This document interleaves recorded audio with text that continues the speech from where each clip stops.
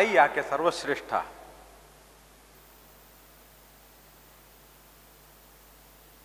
ಅದನ್ನ ಮುಂದಿನ ತಿರುಪತಿಯಲ್ಲಿ ಜನಪದ ಹೆಣ್ಮಗಳು ಹೇಳ್ತಾಳೆ. ಹೆಣ್ಣು ಮಕ್ಕಳ ದುಃಖ ಹೆತ್ತವ್ವ ಬಲ್ಲಳು. ಹೆಣ್ಣು ಮಕ್ಕಳ ದುಃಖ ಹೆತ್ತವ್ವ ಬಲ್ಲಳು. ಹುತ್ತದ ಒಳಗಿರೋ ಸರುಪನ ಬೇಗೆಯ ನೆತ್ತಿ ಮೇಲಿರುವ ಶಿವಬಲ್ಲ ಹೆಣ್ಣು ಮಕ್ಕಳ ದುಃಖ ಹೆತ್ತವ್ವ ಬಲ್ಲಳು. ಹುತ್ತದ ಒಳಗಿರೋ ಸರುಪನ ಬೇಗೆಯ ನೆತ್ತಿ ಮೇಲಿರುವ ಶಿವಬಲ್ಲ. ತಾಯಿಗೂ ಶಿವನಿಗೂ ಇಲ್ಲಿ ಒಂದು ಸೂಕ್ಷ್ಮವಾದ ಹೋಲಿಕೆ ಇದೆ. ತಾಯಿಯೇ ದೇವರು. ಆ ಕಲ್ಪನೆ ಇಲ್ಲಿ ಸಾಕಾರಗೊಂಡಿದೆ ಈ ತಿರುಪತಿಯಲ್ಲಿ. ಯಾಕೆ ಹೇಳ್ತಾಳೆ ಹಾಗೆ ಈ ಕವಯಿತ್ರಿ? ಯಾಕಂದ್ರೆ ಹೆಣ್ಣು ಮಕ್ಕಳ ಕಷ್ಟ ಏನು ಅನ್ನುವುದು ಹೆಣ್ಣಾಗಿ ಆ ಕಷ್ಟಗಳನ್ನೆಲ್ಲ ಅನುಭವಿಸಿ, ಸಹಿಸಿ ಬಾಳಿದ ಅನುಭವಿಯಾದ ತಾಯಿಗೆ ಚೆನ್ನಾಗಿ ಇರುತ್ತೆ ಅಂತ ಕವಯಿತ್ರಿ ಅಭಿಪ್ರಾಯ. ಹಾಗಾಗಿ ತನ್ನ ಕಷ್ಟವನ್ನು ಯಾರಲ್ಲಾದರೂ ಹೇಳ್ಕೊಳ್ಬೇಕಂದ್ರೆ ಅದಕ್ಕೆ ಸೂಕ್ತವಾದ ವ್ಯಕ್ತಿ ಯಾರು? ತನ್ನ ದುಃಖವನ್ನು ನಿವೇದನೆ ಮಾಡ್ಕೊಳ್ಬೇಕಂದ್ರೆ ಅದಕ್ಕೆ ಸೂಕ್ತವಾದ ವ್ಯಕ್ತಿ ಯಾರು ಅಂದರೆ ಅದು ತಾಯಿ. ಹೆತ್ತವನಿಗೆ ಗೊತ್ತು. ಅವಳಿಗೂ ನನಗೊದಗಿದ ಕಷ್ಟದ ರೀತಿಯ ಕಷ್ಟವೇ, ಅಂಥ ಬವಣೆಯೇ ಅವಳ ಬಾಳಿನಲ್ಲೂ ಬಂದಿರಬಹುದು. ಅದರಿಂದ ಅವಳು ಈಗಾಗಲೇ ಪಾರಾಗಿರಬಹುದು. ಅವಳ ಅನುಭವ ತನಗೂ ಕೂಡ ಸಹಾಯಕವಾಗಬಹುದು.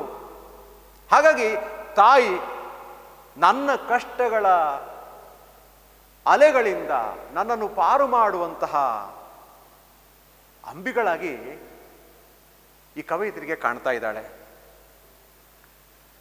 ಅದಕ್ಕೆ ಅವಳು ಹೇಳ್ತಾಳೆ, ಹೆಣ್ಣು ಮಕ್ಕಳ ದುಃಖ ಹೆತ್ತವ್ವ ಬಲ್ಲಾಳು. ಹೇಗೆ?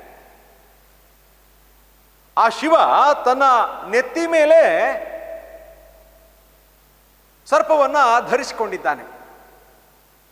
ಸರ್ಪ ಭೀತಿ ಪಟ್ಟು ಬಂದು ಶಿವನ ಕಂಠಕ್ಕೆ ಸುತ್ತು ಹಾಕಿ ಅಲ್ಲಿ ಆಶ್ರಯ ಪಡ್ಕೊಂಡಿದೆ. ಆ ಸರ್ಪದ ದುಃಖ, ಆ ಸರ್ಪದ ಬೇಗೆ, ಅದರ ಆತಂಕ, ಅದರ ತಲ್ಲಣ ಏನು ಅನ್ನೋದು ಶಿವನಿಗೆ ಗೊತ್ತು. ಸಾಮಾನ್ಯವಾಗಿ ಒಂದು ಒಂದು ನಂಬಿಕೆ ಇದೆ. ಹುತ್ತದೊಳಗೆ ಅವಿತ ಹಾವು, ಯಾಕೆ ಹುತ್ತದೊಳಗೆ ಅವಿತುಕೊಂಡಿದೆ ಅಂತ. ಅದಕ್ಕೆ ಯಾವುದೋ ಪ್ರಾಣಭೀತಿ ಇರಬಹುದು. ಅದು ಓಡಿ ಬಂದು ಹುತ್ತದೊಳಗೆ ಆಶ್ರಯ ಪಡೆದಿದೆ. ಅಂತ ಹಾವು ಶಿವನ ಕೊರಳಲು ಕೂಡ ಆಶ್ರಯ ಪಡೆದಿದೆ. ಶಿವ ನಾಗಾಭರಣನಾಗಿದ್ದಾನೆ.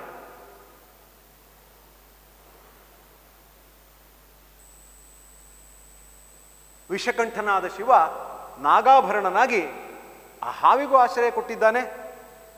ತಾಯಿ ಬದುಕಿನ ವಿಷ ವಿಷಮತೆಗಳನ್ನೆಲ್ಲ ಅರಗಿಸಿಕೊಂಡಂತಹ ಶಿವಸ್ವರೂಪಿಯಾಗಿದ್ದಾಳೆ. ಅದಕ್ಕಾಗಿ ಕವಿತ್ರಿ ಹೇಳ್ತಾಳೆ ಹೆಣ್ಣು ಮಕ್ಕಳ ದುಃಖ ಹೆತ್ತವ್ವ ಬಲ್ಲಳು. ಲೋಕದ ನಾನಾ ಜೀವಿಗಳ ಜೀವರ ಕಷ್ಟ ಏನು ಅನ್ನೋದು ಆ ಭಗವಂತನಾದ ಶಿವನಿಗೆ ಗೊತ್ತು.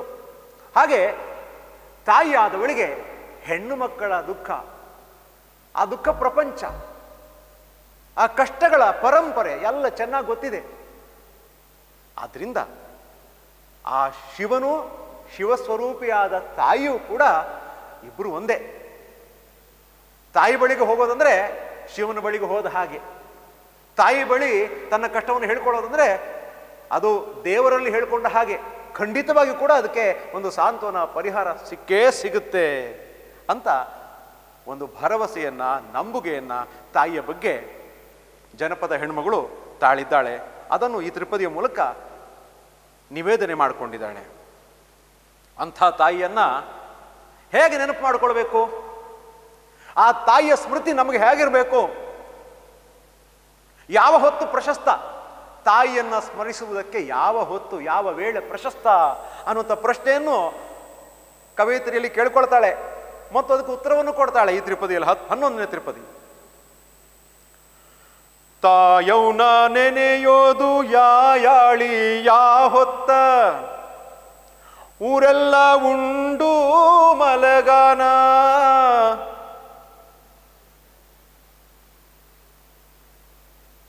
ಊರೆಲ್ಲ ಉಂಡು ಮಲಗಾನ ಬೆಳ್ಳಿ ಚಿಕ್ಕಿ ಹೊಂಡಾಗ ಹಡೆದೌನ ನೆನೆದೇನ. ತಾಯಿಯನ್ನ ಸ್ಮರಣೆ ಮಾಡ್ಕೊಳ್ಳೋದಕ್ಕೆ ಅತ್ಯಂತ ಯೋಗ್ಯವಾದ ಸಮಯ. ಶುಭ ವೇಳೆ, ಅದು ಯಾವುದು? ಯಾವ ಹೊತ್ತು ತಾಯಿಯನ್ನ ನೆನಪು ಮಾಡ್ಕೊಳ್ಬಹುದು ಇಲ್ಲ ಅಂತಿಲ್ಲ. ಆದರೆ, ಜಗದ ವ್ಯವಹಾರಗಳೆಲ್ಲ ನಡೀತಾ ಇರುವಾಗ ವ್ಯಸ್ತ ಜೀವನದ ತುರ್ತಿನಲ್ಲಿ ತಾಯಿಯನ್ನ ನೆನಪಿಸಿಕೊಳ್ಳುವುದಕ್ಕೆ ಹೆಣ್ಣುಮಗಳಿಗೆ ಪುರುಸತ್ತಲ್ಲಿದೆ. ಅಷ್ಟು ಕೆಲಸ ಇದೆ. ಹೊಲದ ಕೆಲಸ ಇರಬಹುದು ಮನೆ ಕೆಲಸ ಇರಬಹುದು ಹಾಗಾಗಿ ಮಗಳೇನು ಮಾಡ್ತಾಳೆ ಅಂದರೆ ತಾಯವನ್ನು ನೆನೆಯುವುದು ಯಾವ ಹೊತ್ತು ಅಂತ ಯೋಚನೆ ಮಾಡ್ತಾಳೆ. ಹೌದಲ್ಲ? ಒಂದು ಬಹಳ ಪ್ರಶಸ್ತವಾದ ಸಮಯ ಇದೆ. ಅದು ಯಾವಾಗ ಅಂದರೆ ಇಡೀ ಜಗತ್ತು ಹಗಲಿನ ದಣಿವಿನಿಂದ ಪಾರಾಗುವುದಕ್ಕಾಗಿ ವಿಶ್ರಾಂತಿ ಪಡೆಯುವ ಕಾಲ. ಅದು ರಾತ್ರಿಯ ವೇಳೆ. ಆ ರಾತ್ರಿಯಲ್ಲೂ ಕೂಡ ನಿದ್ರೆ ಕಳೆದಂತಹ ಬ್ರಾಹ್ಮೀ ಮುಹೂರ್ತ. ಪ್ರಾತಃ ಕಾಲದಲ್ಲಿ ಬೆಳ್ಳಿ ಚಿಕ್ಕಿ ಮೂಡುವಂತಹ ಹೊತ್ತು ಅಂತಿದೆ. ಆ ಬೆಳ್ಳಿ ಚಿಕ್ಕಿ ಝಗಮಗಿಸುವಂತಹ ಆ ಪ್ರಾತಃ ಕಾಲದ ಮುಹೂರ್ತದಲ್ಲಿ ಅಂತಹ ಶುಭ ವೇಳೆಯಲ್ಲಿ ತಂಪು ಹೊತ್ತಿನಲ್ಲಿ ತಾಯಿಯನ್ನು ನೆನೆಯಬೇಕು ಅಂತ ಈ ಕವಿತರಿ ತನ್ನ ಆಶಯವನ್ನು ಪ್ರಕಟಿಸ್ತಾಳೆ. ಯಾ ಯಾಳಿ ಯಾ ಹೊತ್ತ? ತಾಯವನ್ನು ನೆನೆಯೋದು ಯಾ ಯಾಳಿ ಯಾ ಹೊತ್ತ? ಗಮನಿಸ್ಕೊಳ್ಳಿ, ಗ್ರಂಥಸ್ಥ ರೂಪದಲ್ಲಿ ಯಾ ಯಾಳಿ ಅಂದರೆ ಯಾವ ವೇಳೆ. ಯಾ ಹೊತ್ತು ಅಂದರೆ ಯಾವ ಹೊತ್ತು ಅಂತ. ಇಲ್ಲಿ ದೇಸಿ ರೂಪಗಳನ್ನು ನಾವು ಕಾಣಬಹುದು. ಭಾಷೆಯ ಕೆಲವು ಪದಗಳ ದೇಸಿ ರೂಪವನ್ನು ಕಾಣಬಹುದು. ವೇಳೆ ಅನ್ನುವುದಕ್ಕೆ ಯಾಳಿ ಅಂತ ಹೇಳ್ತಾರೆ ಜನಪದರು. ಯಾವ ಅನ್ನೋದನ್ನು ಯಾ ಅಂತ ಸೂಚಿಸ್ತಾರೆ. ಬೆಳ್ಳಿ ಚುಕ್ಕಿ ಅನ್ನುವುದನ್ನು ಚಿಕ್ಕಿ ಅಂತ ಹೇಳ್ತಾರೆ. ಬೆಳ್ಳಿ ಚಿಕ್ಕಿ ಅಂತ ಹೇಳ್ತಾರೆ. ಮೂಡು ಅನ್ನುವುದನ್ನು ಹೊಂಡಾಗ ಅಂತ ಸೂಚಿಸ್ತಾಳೆ. ಇದೆಲ್ಲ ದೇಸಿ ರೂಪಗಳು ಗ್ರಾಂಥಿಕ ರೂಪಗಳನ್ನು ನನಗೆ ಹೇಳಿದೆ. ತಾಯವನ ನೆನೆಯೋದು ಯಾ ಯಾಳಿ ಯಾ ಹೊತ್ತ, ಊರೆಲ್ಲ ಉಂಡು ಮಲಗಾನ. ಇಡೀ ಊರಿಗೆ ಊರೇ ಮಲಗಿ ನಿದ್ರಿಸುತ್ತಿರುವಂತಹ, ವಿಶ್ರಾಂತಿ ಪಡೆಯುತ್ತಿರುವಂತಹ ಆ ರಾತ್ರಿಯ ವೇಳೆ ಏನೂ ಇಲ್ಲ, ನಿಶ್ಶಬ್ದವಾಗಿದೆ. ವಾತಾವರಣದಲ್ಲಿ ಒಂದು ನೀರವತೆ ತುಂಬಿದೆ, ಪಾವಿತ್ರ್ಯ ತುಂಬಿದೆ. ಪ್ರಾತಃ ಕಾಲದಲ್ಲಿ ಆ ತಂಪು ಹೊತ್ತಿನಲ್ಲಿ ನನ್ನನ್ನು ಹೊತ್ತ ತಾಯಿ, ಹೆತ್ತ ತಾಯಿ, ನನ್ನನ್ನು ಬೆಳೆಸಿದ ತಾಯಿ ಆ ಮಹಾತಾಯಿಯನ್ನು ನೆನಪು ಮಾಡಿಕೊಳ್ತೇನೆ. ತಂಪು ಹೊತ್ತಿನಲ್ಲಿ ಸ್ಮರಣೆ ಮಾಡಿಕೊಳ್ಬೇಕಾದಂತಹ ಅರ್ಹ ವ್ಯಕ್ತಿ ಅಂದರೆ ಅದು ತಾಯಿ. ಅಂತ ಹೊತ್ತಿನಲ್ಲೇ ಅವಳನ್ನು ನೆನಪು ಮಾಡಿಕೊಳ್ತೇನೆ. ಬೆಳ್ಳಿ ಚಿಕ್ಕಿ ಹೊಂಡಾಗ ಹಡೆದವನ್ನ ನೆನೆದೇನಾ? ಅಂತ ಹೆಣ್ಮಗಳು ಹೇಳ್ತಾಳೆ. ಬೆಳ್ಳಿ ಚುಕ್ಕಿ ಮೂಡುವ ಹೊತ್ತು ತಾಯಿಯನ್ನ ನೆನಪು ಮಾಡಿಕೊಳ್ತೇನೆ.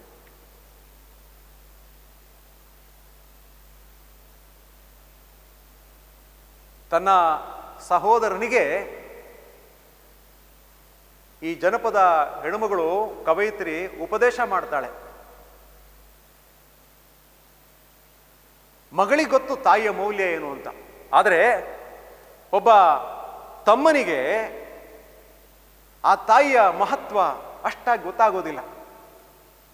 ತಾಯಿ ಇನ್ನೂ ಯುವತಿಯಾಗಿದ್ದಾಗ ಶಕ್ತಿ ಸಂಪನ್ನಳಾಗಿದ್ದಾಗ ಅದೇನೇನೇನೆಲ್ಲ ಕಷ್ಟಪಟ್ಟಳು, ಮನೆಗಾಗಿ ಎಷ್ಟು ದುಡಿದಳು, ಮನೆಗಾಗಿ ತನ್ನನ್ನು ತಾನು ಹೇಗೆ ಸವಯಿಸಿಕೊಂಡಳು, ಹಗಲು ಎನ್ನದೆ, ರಾತ್ರಿ ಎನ್ನದೆ, ಅವಿರತವಾಗಿ ಅವಳು ಹೇಗೆ ಶ್ರಮವಹಿಸಿ ಕೆಲಸ ಮಾಡಿದ್ಲು ಮನೆಯ ಉದ್ಧಾರಕ್ಕಾಗಿ ಹೇಗೆ ತನ್ನ ಬದುಕನ್ನು ಸವೆಯಿಸಿದಳು ತಾನು ಹೇಗೆ ನವಿದಳು ಮನೆಯನ್ನು ಹೇಗೆ ಉದ್ಧರಿಸಿದಳು? ಈ ಎಲ್ಲ ಸೂಕ್ಷ್ಮಗಳು ಬಹುಶಃ ತಮ್ಮನಿಗೆ ಗೊತ್ತಿಲ್ಲ.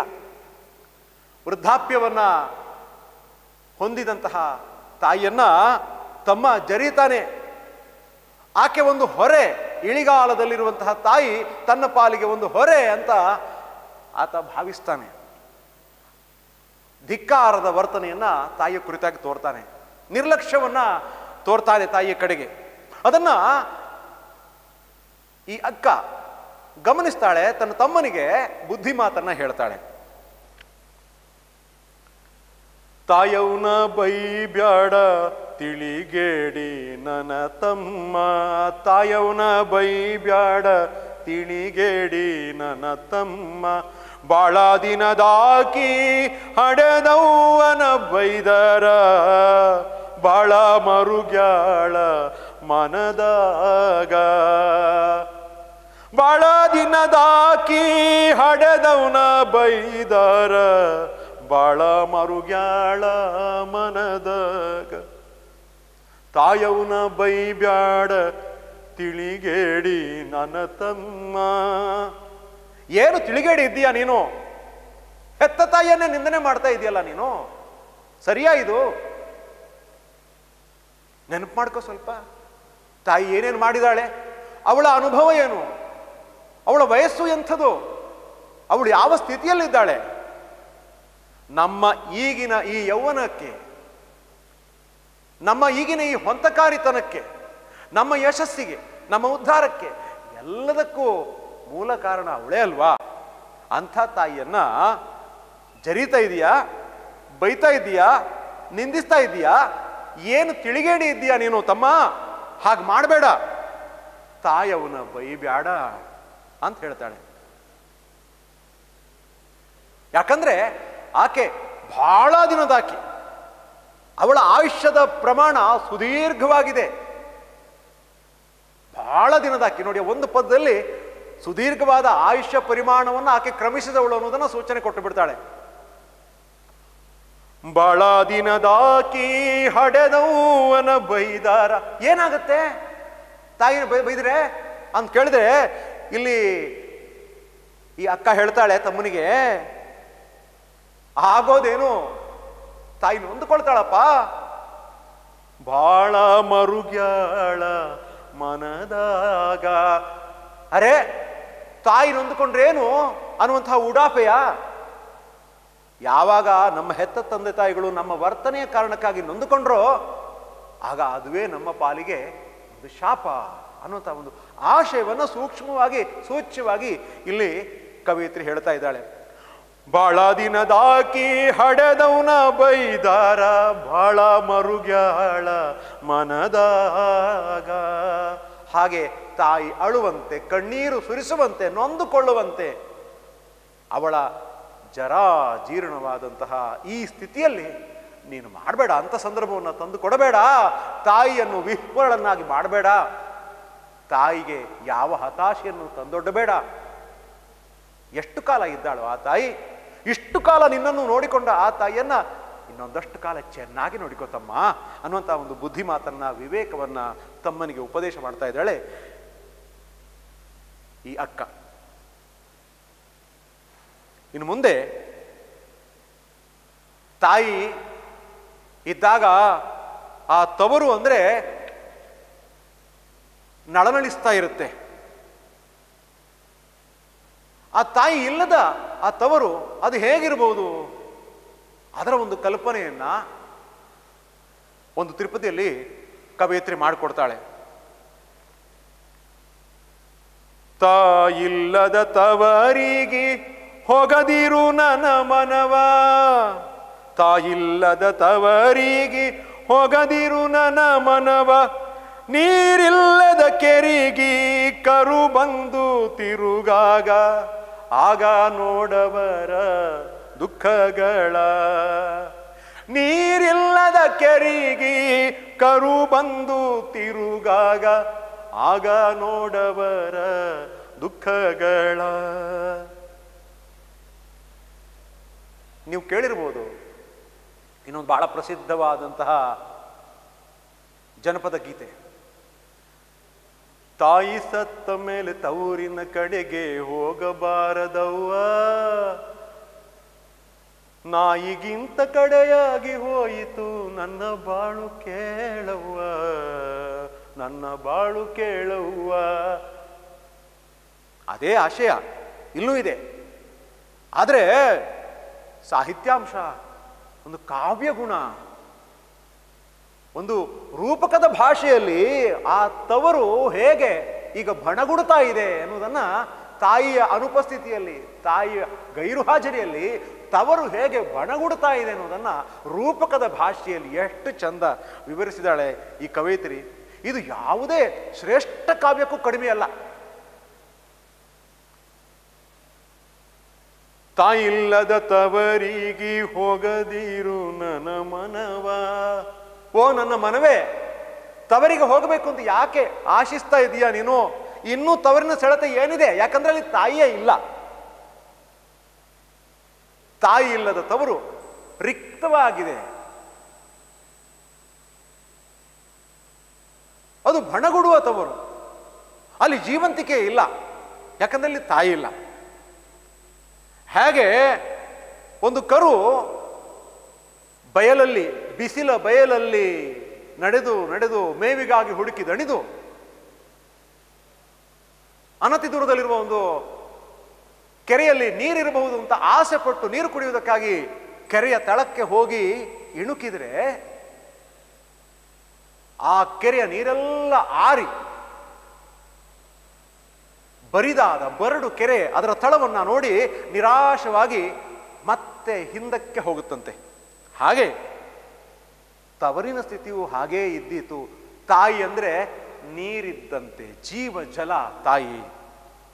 ಒಂದು ಬಣಗುಡುವ ಕೆರೆಗೆ ಬಂದಂತಹ ಕರು, ನೀರ ನರಸಿ ಬಂದ ಕರು ಹೇಗೆ ಹತಾಶೆಯಿಂದ ನಿರಾಸೆಯಿಂದ ಮರಳಬಹುದೋ ಹಾಗೆ ತಾಯಿ ಇಲ್ಲದ ತವರಿಗೆ ಹೋದಂತಹ ಹೆಣ್ಣುಮಗಳು ಕೂಡ ನಿರಾಶೆಯಿಂದ, ದುಃಖದಿಂದ ಮರಳಬೇಕಾಗುತ್ತದೆ. ಹಾಗಾಗಿ ಮತ್ತೆ ಮತ್ತೆ ತಾಯಿಲ್ಲದ ತವರಿಗೆ ಹೋಗುವುದನ್ನು ಆಶಿಸಬೇಡ ನೀನು. ನಿನ್ನ ಮನಸ್ಸನ್ನು ನಿಯಂತ್ರಿಸಿಕೋ. ಯಾಕಂದ್ರೆ ತಾಯಿದ್ರೆ ತವರು, ತಾಯಿದ್ರೆ ತವರೆಚ್ಚು, ತಂದಿದ್ರೆ ಬಳಗೆಚ್ಚು ಅಂತ ಮಾತು. ಸಾವಿರಕ್ಕ ಹೆಚ್ಚು ಪತಿ ಪುರುಷ ಅಂತ. ಹಾಗಾಗಿ ತಂದೆ, ತಾಯಿ ಇದ್ರೆ ಅದು ತವರು. ಇಲ್ಲ ಅಂದರೆ ಆ ತವರಿನ ಜೀವಂತಿಕೆ ಅದು ಇನ್ನೊಂದು ಇರುವುದಿಲ್ಲ. ತಾಯಿಯ ಅವಸಾನದೊಂದಿಗೆ ತವರಿನ ಜೀವಂತಿಕೆಯೂ ಕೂಡ ಅವಸಾನವಾಗುತ್ತೆ ಅನ್ನೋದು ಈ ಹೆಣ್ಣುಮಗಳ ಅನುಭವ, ಅವಳ ಭಾವನೆ.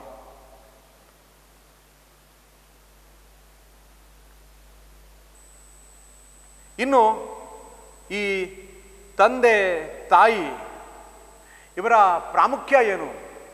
ಇವರ ಮೌಲ್, ಮೌಲಿಕತೆ ಎಷ್ಟು? ಅದನ್ನ ಒಂದು ತ್ರಿಪದಿಯಲ್ಲಿ ಬಹಳ ಸೊಗಸಾಗಿ, ಮಾರ್ಮಿಕವಾಗಿ ಕವಿಯತ್ರಿ ಹೇಳಿದ್ದಾಳೆ. ಉಂಗೂರ, ಉಡುದಾರ, ಮುರಿದಾರ ಮಾಡಿಸಬಹುದು. ಮಡದಿ ಸತ್ತಾರ ತರಬಹುದು. ಉಂಗೂರ ಉಡುದಾರ, ಮುರಿದಾರ ಮಾಡಿಸಬಹುದು ಮಡದಿ ಸತ್ತಾರ ತರಬಹುದು ಮಡದಿ ಸತ್ತಾರ ತರಬಹುದು, ಹಡೆದಂಥ ತಂದೆ ತಾಯಲ್ಲಿ ಸಿಕ್ಕಾರ. ಮಡದಿ ಸತ್ತಾರ ತರಬಹುದು, ಹಡೆದಂಥ ತಂದೆ ತಾಯಲ್ಲಿ ಸಿಕ್ಕಾರ ಅತ್ಯಂತ ದುರ್ಲಭ. ತಂದೆ ತಾಯಿ ಅಂದ್ರೆ ಮಾರುಕಟ್ಟೆಯಲ್ಲಿ ನಾವು ಕೊಳ್ಳಬಹುದಾದಂಥ ವಸ್ತುಗಳಲ್ಲ. ತಾಯಿ ತಂದೆ ಅಂತಹ ಪರಮ ಮೌಲ್ಯಗಳು. ಇರುವಾಗ ಅವರು ನಮ್ಮನ್ನು ಚೆನ್ನಾಗಿ ನೋಡಿಕೊಂಡ್ರು, ಅವರ ಇಳಿಗಾಲದಲ್ಲಿ ಅವರು ನಾವು ಚೆನ್ನಾಗಿ ನೋಡ್ಕೊಳ್ಬೇಕು. ಅವರಿಗೆ ನೋವು ಕೊಡಬಾರದು. ಅವರ ಉಪಾಸನೆ ಮಾಡಬೇಕು. ಅವರ ಉಪಚಾರ ಮಾಡಬೇಕು. ಅವರಿಗೆ ಸಾಂತ್ವನ ಸಂತೋಷಗಳನ್ನು ಕಡೆಗಾಲದಲ್ಲಿ ಕೊಡಬೇಕು. ಯಾಕಂದ್ರೆ ನಮ್ಮ ಬಾಳಿನ ಅತ್ಯಂತ ದುರ್ಲಭ ವ್ಯಕ್ತಿಗಳು ಮತ್ತೆನ್ನೆಂದಿಗೂ ಅವ್ರು ಬರೋದಿಲ್ಲ. ಬೇರೆಲ್ಲ ಬೇಕು, ಬೇಕಾದ ವಸ್ತುಗಳನ್ನು ನಾವು ಅಂಗಡಿಗಳಲ್ಲಿ ಕೊಡ, ಕೊಡಬಹುದು, ಮುಂಗಟ್ಟೆಗಳಲ್ಲಿ ಕೊಂಡುಕೊಳ್ಬಹುದು ಅಥವಾ ನಾವೇ ತಯಾರು ಮಾಡ್ಬೋದು. ತಂದೆ ತಾಯಿಗಳು ಹಾಗಲ್ಲ. ನಮ್ಮ ಬಾಳಿನಲ್ಲಿ ಒಂದೇ ಬಾರಿ ಅವರು ಲಭ್ಯರಾಗುವಂಥವ್ರು ಅಂತ ತಂದೆ ತಾಯಿಗಳು ಪರಮ ಆದರಣೀಯ ವ್ಯಕ್ತಿಗಳು. ಅವರನ್ನು ಎಷ್ಟು ಚೆನ್ನಾಗಿ ನೋಡಿಕೊಂಡೆವೋ ಅಷ್ಟು ನಮಗೆ ಹಿತ. ಅದನ್ನು ಈ ತ್ರಿಪದಿಯಲ್ಲಿ ಹೇಳ್ತಾಳೆ ಹೆಣ್ಮಗಳು. ಉಂಗುರವನ್ನು ಮಾಡಿಸ್ಬೋದು. ಉಂಗುರ ಏನಾದರೂ ಹಾಳಾಯಿತು ಕೆಟ್ಟು ಹೋಯಿತು ಅದು ಮಸುಕಾಯ್ತು ಅಂದರೆ ಮತ್ತೆ ಅದಕ್ಕೆ ಹೊಳಪನ್ನು ಕೊಡ್ಬೋದು ಅಥವಾ ಹೊಸ ಉಂಗುರವನ್ನೇ ಕೊಡ್ಕೊಳ್ಬೋದು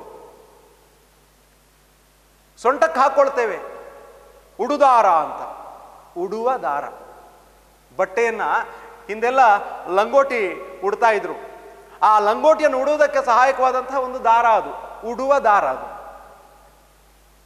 ಸೀರೆಯನ್ನಾದರೂ ಉಡುವವರು ಆ ಉಡುದಾರಕ್ಕೆ ಸೀರೆಯನ್ನು ಸಿಕ್ಸ್ಕೊಳ್ತಾರೆ.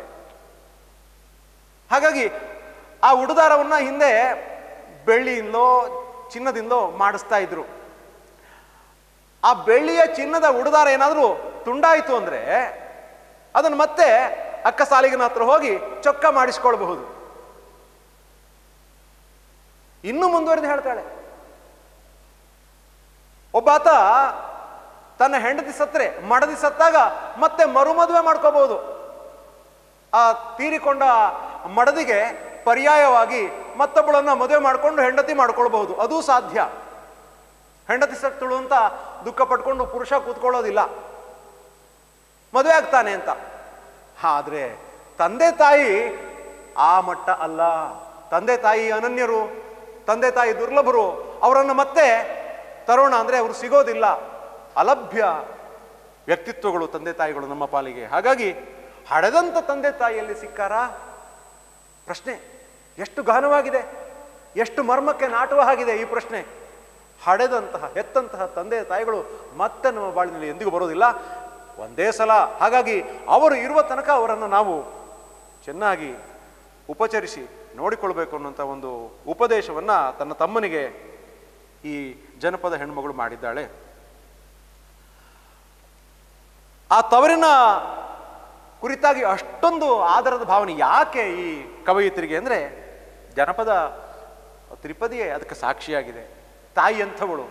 ತಾಯಿ ಬದುಕಿದಾಗ ಹೇಗೆ ಬದುಕಿದ್ಲು ಅಂತ ಒಂದು ತ್ರಿಪದಿ ಬಹಳ ಸುಂದರವಾಗಿ ವರ್ಣನೆ ಮಾಡುತ್ತೆ.